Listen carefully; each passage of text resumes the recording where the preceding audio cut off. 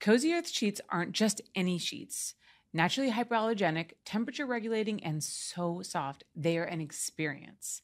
Plus, with sustainability at the heart of their design, you can sleep better knowing that you're making the right choice for our planet. Visit cozyearth.com now and get up to 35% off site wide when you use code HOLLY. But I know for you, you do really well on your own um, content platforms. You're really big on Snapchat. So maybe tell us a little bit about you know how that works for you. What are your most popular platforms? What kind of stuff do you do for those platforms? For me um, it's onlyfans and it's FanCentro for snapchat. And what does well for me is the amateur stuff. Like guys really like the stuff that's amateur based. Like i can be like i'm going to the mall and i'm looking for dick to suck or dick to fuck. And you know i go to the mall and you know I go find my person and, you know, I do my thing in the car or like in the parking lot and they love that kind of stuff. It's like, it's really for them, it's, they get off on that. They really do. Or I'll, I'll suck dick in a movie theater. Not in a real movie theater, but I'll go to the theater and I'll do the skit up to, you know, up to it. And then, you know, I have my little secrets and yeah, they love it. They love the amateur stuff. It's really they want to feel like it's real. Like, yeah, and it, they probably also want to feel like it's a chance that they could be that guy at the mall Absolutely. who you Absolutely. pull out of the crowd and like suck his dick in the car. Yeah, and I've gone to like I've gone hiking. I've even gone to Runyon Canyon and I sucked dick and I fucked. I, I got I got fucked at Runyon Canyon with Layla wow. Star and a, um another guy, a male, and um yeah. So they so these are pretty elaborate scenes that you come up with. Mm-hmm. And I'm all about just like trying to break the, the barrier if I can just get away with it. Like I want to get, get away with it.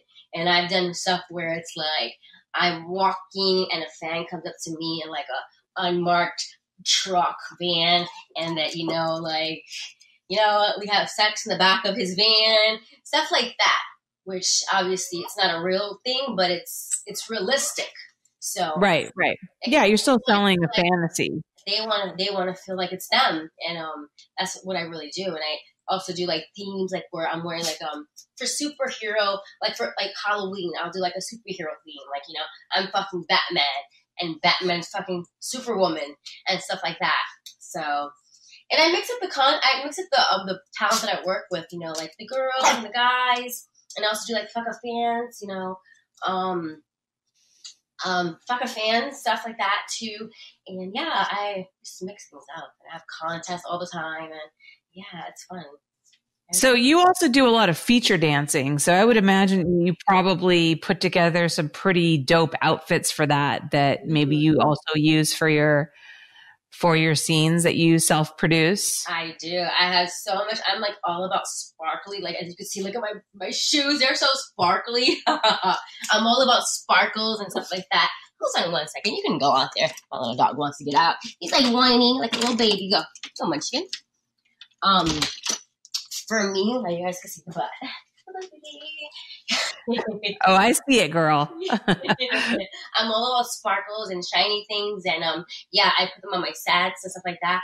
But like I said, I like to do a lot of the amateur stuff. So I'm wearing like workout clothes, itty bitty shorts, like stuff like that. But when I do like elaborate stuff, like maybe like I'm, I'm doing like a salsa thing or some kind of something like that of dancing, then I'll use my um my feature costumes for that. But mainly just normal clothes, but like mm. booty clothes, like a little tube top to go hiking with some little booty shorts and stuff like that. So that's more of my attire for that stuff. What's the craziest one that I've done? I think it would have to be the one where I'm going to the mall and I'm looking for dick and I'm basically talking step by step. Hey guys, I'm going to the Topanga Mall. I'm looking for a guy to suck him off in the parking lot. And I had a bunch of people talk crap thinking that, you know, I was actually doing it and like really, really doing it. And girls talking shit. And I'm like, you guys all shoot content. You guys all know these things, these little these little tricks of the trade.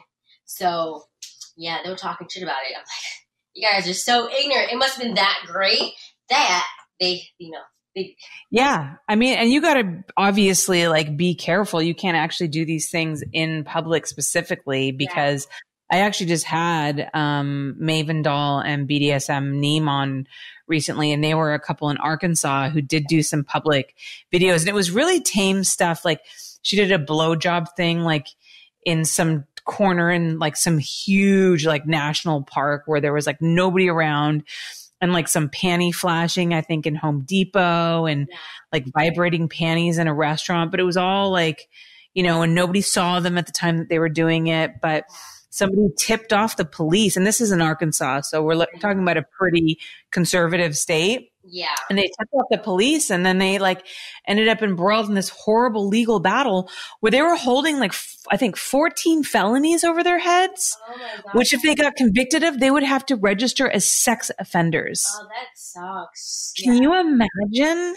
That's crazy. Who would even? Yeah. So like it can really go south for you. But I think that what you're doing where, you know, you have the setup in public places, but you fake where the sex is, yeah. but it seems like it's all in that place. That's how you That's how do those kinds of scenes. Yeah, like it's I say it and I'm I'm snapping to the point of it, but really it's mm-hmm. not officially there. You know what I mean? Like they yeah. it's there, but it really isn't there. So yeah, yeah, that's how you do it. In the mind. Cozy Earth sheets aren't just any sheets naturally hypoallergenic, temperature regulating, and so soft, they are an experience. Plus, with sustainability at the heart of their design, you can sleep better knowing that you're making the right choice for our planet. Visit cozyearth.com now and get up to 35% off site wide when you use code HOLLY.